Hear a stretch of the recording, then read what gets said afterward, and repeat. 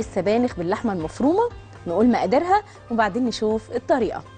عندي نص كيلو لحمة مفرومة أهم حاجة إنها تتفرم خشن علشان ما تبقاش ناعمة قوي وما تبانش في الأكلة.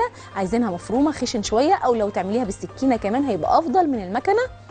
عندنا كيلو سبانخ فريش آه، متقطعة صغير وزي ما قلنا لو ما توفرتش يبقى سبانخ مجمدة. كوباية من الكزبرة الخضراء المفرومة نص كوباية من الشبت المفروم كوباية حمص طبيخ معلقة كبيرة من الثوم المفروم بصلة مفرومة 3 كوبايات من عصير الطماطم معلقتين كبار من السمنة مكعب مرقة معلقة صغيرة من السكر ومعلقة صغيرة من الكزبرة الناشفة وملح وفلفل أسود. دي مقاديرنا النهارده وتعالوا بينا بقى علشان نشتغل ونشوف هنعمل إيه. يلا بينا. بداية هنحط حلة على النار. وهاخد السمنة وأحطها في الحلة علشان تسخن. بسم الله. هاخد نص كمية السمنة. هحتاج النص التاني علشان نعمل بيه طشة السبانخ. إيه دي معلقة من السمنة. وهننزل البصل. دي بصلة مفرومة ونديها تشويحة. بسم الله الرحمن الرحيم. طبعا ولا أحلى ولا أجمل من أكلنا التقليدي. تحفة جدا. وفي بنات كتير وعرايس كتير لسه متجوزين ما عندهمش أي خبرة بالمطبخ فهنحاول الفترة اللي جاية إن إحنا يبقى يوم عندنا في الأسبوع نعمل فيه الأكلات التقليدية بتاعتنا.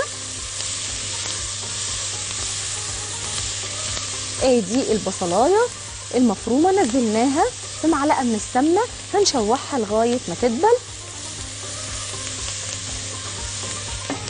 وتعالوا بقى ناخد اللحمة المفرومة. وزي ما قلنا حاولي تفرميها خشن يا إما تجيبي اللحمة وتقطعيها بالسكينة قطع صغيرة جدا. ده هيديكي نتيجة حلوة قوي ولو اللحمة كمان فيها نسبة دهون هتبقى أفضل وهتديكي طعم حلو جدا جدا للسبانخ خلاص كده البصلة دبلت. هننزل اللحمة. بسم الله الرحمن الرحيم. ونديها بقى تشويحة مع البصلة. إحنا شوحنا اللحمة بعد ما حطينا معلقة سمنة ونزلنا فيها ببصلاية دبلت حطينا اللحمة اللي قلنا مفرومة خشن وبعدين شوحناها كويس جدا. تعالوا بينا بقى نبدأ نضيف عندنا الطماطم ثلاث كوبايات من الطماطم. بسم الله الرحمن الرحيم. كده إحنا شوحنا اللحمة كويس. هضيف عصير الطماطم حوالي 3 كوبايات. وهستنى الطماطم تغلي قبل ما اضيف بقية الحاجة اللي عندنا. هضيف بس مكعب المرقة ومعلقة معلقة صغيرة خالص من السكر السبانخ والطماطم من الحاجات اللي بتبقى فيها نسبة آه، أملاح وحموضة عالية. فعلشان نقلل من الموضوع ده هنحط معلقة صغيرة خالص من السكر. طبعا على الكمية اللي إحنا بنقولها اللي هي كيلو من السبانخ ونص كيلو من اللحمة المفرومة. تمام؟ هجهز الطاجن هحاول كده إن أنا أدخله الفرن يسخن عشان نحط فيه السبانخ يبقى سخن معانا ولما ندخله الفرن يكمل على طول غليان. تمام؟ يبقى إحنا في البداية حطينا معلقة سمنة بعدين بصلاية مفرومة اتشوحت لغاية ما دبلت ونزلنا بنص كيلو لحمة متقطعة صغير جدا أو مفرومة خشن. لغاية ما أخدت آه، لون التسوية أو استوت عامة. بعدين حطينا مكعب مرقة سكر وحطينا كمان الثلاث كوبايات طماطم. طيب السبانخ من الحاجات أو من ال- الخضروات الورقية النظافة فيها مهمة جدا جدا. يعني قبل كده آه، برضو حد ما عندوش خبرة خالص فالسبانخ ما, ما, ما تعرفش إن هي ممكن لازم تتغسل مرة واثنين وثلاثه لأن بيبقى عالق فيها رملة وطينة وحاجات كده. فبتقول لي أنا عملت السبانخ وبعد كده باكلها لقيتها عمالة تقرقش. لازم تتغسل. السبانخ بالذات غسلها. مهم جدا جدا. مش مش كسبانخ لأ. يعني عشان هي آه ورق فبيبقى غسلها فيه صعوبة شوية. فلازم آه تقطعيها. تمام بتتغسل الأول كويس وبعد ما تتغ... بعد ما تقطع كمان أنا بحب إن أنا أنزلها في كمية وفيرة من المية وبعدين أشيلها بقى كده وأحطها في مصفى تصفي المية الزيادة وهتلاقي برضو نزل رواسب ورمل وكلام من ده. تقعد تغسلي فيها لغاية ما تحسي إن المية بقت زي الفل كده تتأكدي إن السبانخ نطفت ما يبقاش فيها أي رملة عالقة فيها. تمام؟ وتعالوا بينا بقى. خلاص الطماطم غليت مع اللحمة والبصل ننزل بقى سواء كانت السبانخ مجمدة أو فريش هنحط السبانخ. والشبت بيدي طعم هايل جدا. بس ما تكتريش هي نص كوباية من الشبت وكوباية من الكزبرة الخضراء بيفرقوا جدا جدا في طعم السبانخ. بالشكل ده. ونسيب بقى المكونات بتاعتنا علشان تستوي بس هضيف لها إيه؟ الحمص بتاع الطبيخ. عملناها قبل كده مع بعض بلسان العصفور برضو بتبقى حلوة قوي. النهاردة قلت أعملها بالحمص. هي ليها كذا طريقة وليها كذا إضافة تقدري تضيفي نقول إيه آه، فريك.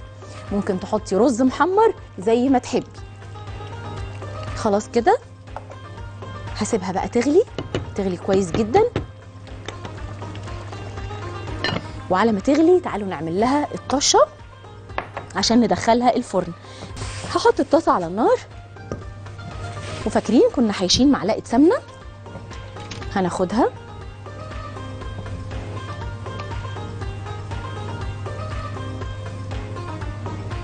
ونخليها تسخن بقى علشان نعمل الطشة بتاعت السبانخ. الطشة بتاعتنا عبارة عن توم وكمان كزبرة ناشفة. وهنا السبانخ شغالة وبتغلي هضيف لها بس الملح.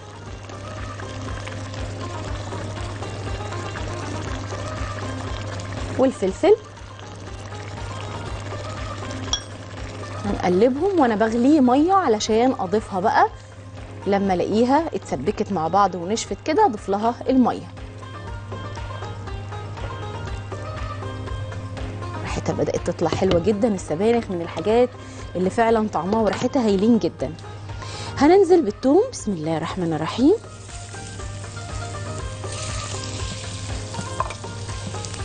أهم حاجة في التقلية بتاعت أي حاجة أي خضار بنعمله اوعي تغمقي التوم. التوم لو غمق بيمرر وبيدي طعم مش لطيف خالص. إحنا عايزينه ياخد لون ذهبي مش عايزين يغمق عشان ناخد ريحة وطعم حلوين جدا.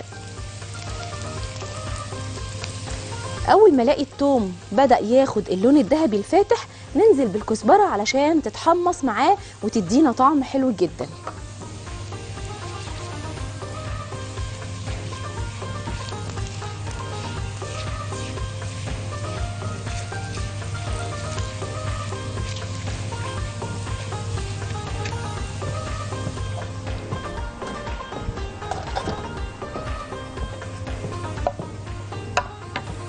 شايفين هو ده اللون اللي إحنا عايزينه. مش هنغمق عن كده. تمام. وهناخد كده من السبانخ. بسم الله الرحمن الرحيم. واو إيه الريحة الحلوة دي. تاني بقى عشان نلم كل اللي في الطاسة. زي الفل.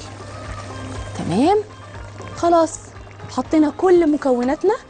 السبانخ من الحاجات اللي ما بتحتاجش وقت في التسوية ده غير إن إحنا حاطين اللحمة مفرومة ويعتبر مسويينها الأول. هحط بس ازود حوالي كوباية مية ولازم تكون مغلية. تمام كده؟ وتعالوا بينا بقى نحط السبانخ في الطاجن علشان ندخلها. الفرن بقى تكمل تسويتها وتطلع كده سخنة من الفرن على السفرة. نطلع الطاجن اللي إحنا حطيناه يسخن.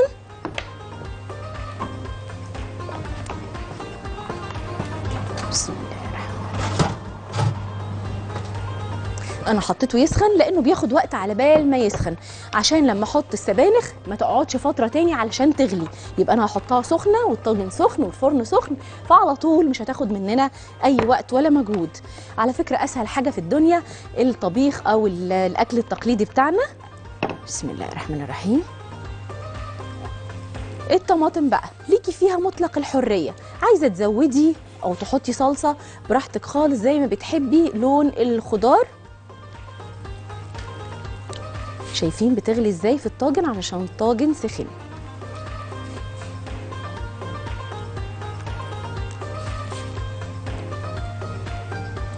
حلو قوي. يلا بقى. ميرسي ربنا يكرمك. هندخل الفرن علشان تكمل التسوية بتاعتها.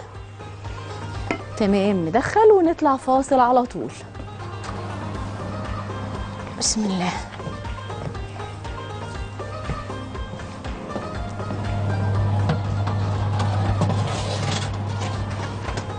خلاص خلصنا طاجن السبانخ. هيقعد في الفرن حوالي ربع ساعة وهيطلع زي الفل إن شاء الله. نقدمه بالهنا والشفا.